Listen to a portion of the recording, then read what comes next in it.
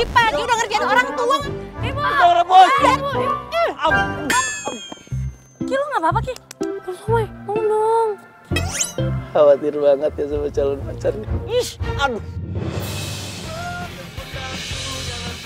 Akhirnya gue bisa ketemu terus sama Karin.